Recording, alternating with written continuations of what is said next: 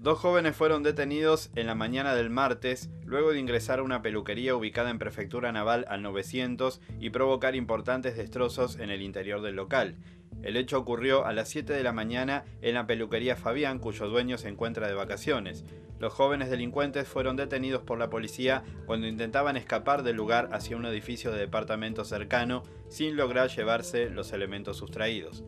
Los jóvenes permanecieron detenidos en carácter de flagrancia, siendo restituidos a sus progenitores tal como lo establece la ley.